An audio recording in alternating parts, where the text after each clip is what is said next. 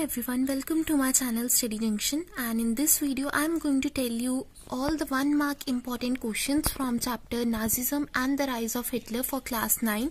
So let's start. So first of all we have the important terms from this chapter.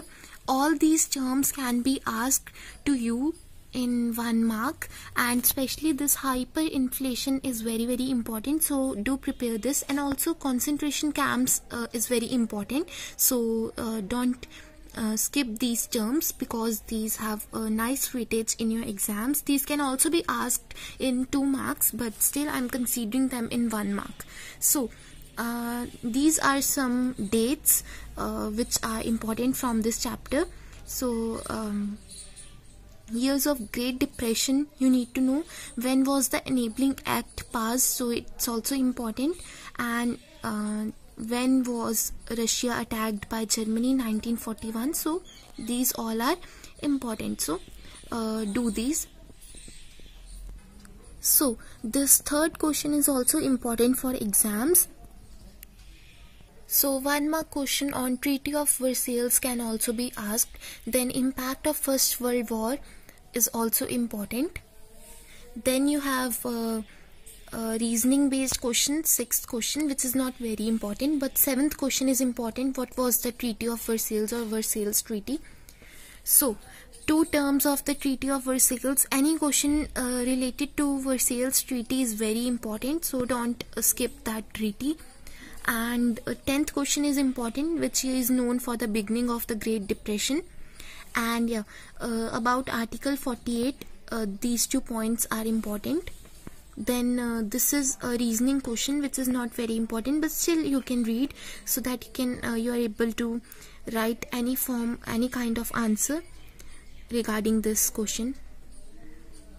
So these are uh, date based questions in which year did hitler invade po poland.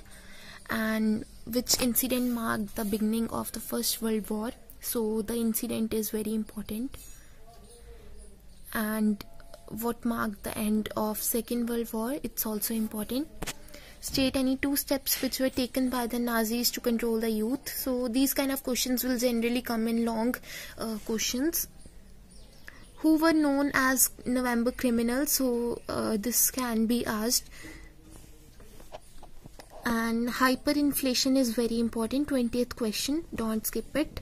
Then which country bailed out germany from the hyperinflation situation? So it's usa so very important thing. And uh, this is also important about the book. Now if you see question 25 and 26 you would notice that uh, the questions on enabling act are being asked to you in various forms so this itself describes the importance of this. Then you have what was the national socialist german workers party. What were concentration camps? Who were kept in these camps? So very important thing. Now what were the ghettos? So it's important.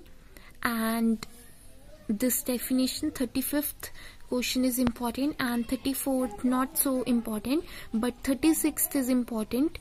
Tripartite pact signed when was it signed and what was its important so it's very very important.